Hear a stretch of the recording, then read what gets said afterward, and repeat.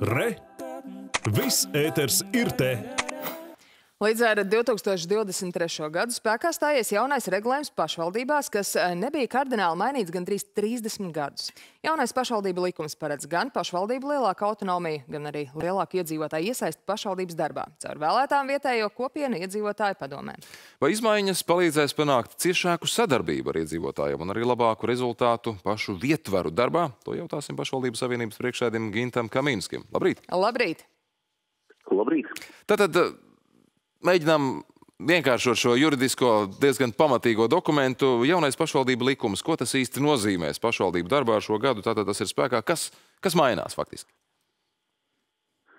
Nu jā, pirmkārt jāsaka, ka noteikti likums ir mūsdienīgāks un 30 gadi, kā jūs teicāt, ir pietiekoši liels laiks um, ne tikai likumdošanas pārmaiņu jomā, bet arī iedzīvotāju domāšanā, iedzīvotāju uztverē un faktiski izpratnē par pārvaldību, par pašvaldībām.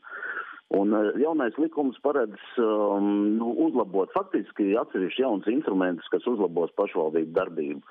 Nu, piemēram, uh, pārcelt pašvaldību darbiniekus uh, ne, nepieciešamības gadījumā citā darbā. Kā jūs teicāt, iedzīvotāju līdzdalības iespējas.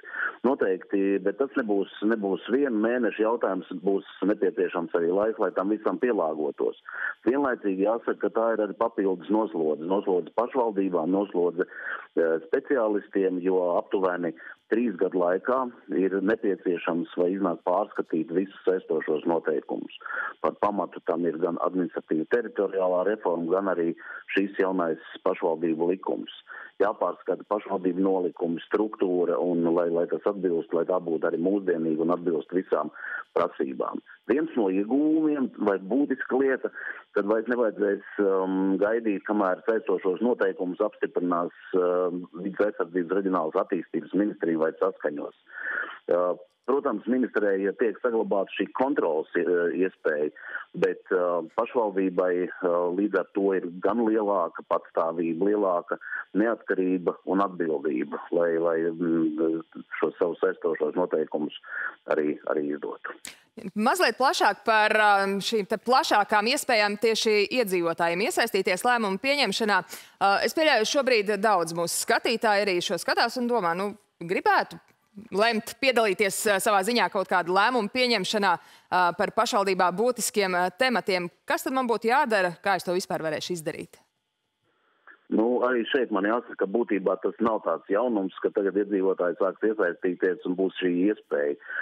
Iedzīvotāji uz vietām ļoti labi zina, cik pašvaldības un kādā veidā ir pieņēmušas lēmumus dažādiem iedzīvotāju projektu atbalstiem, iedzīvotāju iniciatīvām, kas, kas nav uh, faktiski tiešā pašvaldību funkcija. Un līdz ar to man jāsaka arī, ka, uh, ko mēs redzam, ka pašvaldībām iedzīvotāji uzticās daudz, daudz vairāk, uz pusi vairāk nekā valsts pārvaldē, nekā saimai ministru kabinetam. Un viens no pamatiem ir šī iedzīvotāja iesaiste. Jāsaka, ka Protams, protams nu, ir šie līdzdalības budžeti, kas šobrīd tiks iezīmēti vismaz 0,1% apmērā no, no pašvaldību vidējiem vienu gadu iedzīvotāju ienākumu nodokļu un nekustamā īpašuma nodokļu faktiskajiem ieņēmumiem. Bet uh, tas pārējais posms 23. šis gads un, un nākamais gads.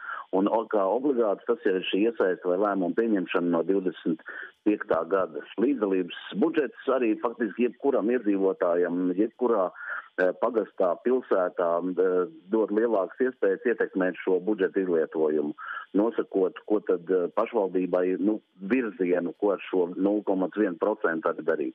Bet vēlreiz, kā es sākumā teicu, manuprāt, pašvaldības jau šodien um, savā darbā daudz vairāk nekā 0,1% jau novirza dažādām iedzīvotāju uh,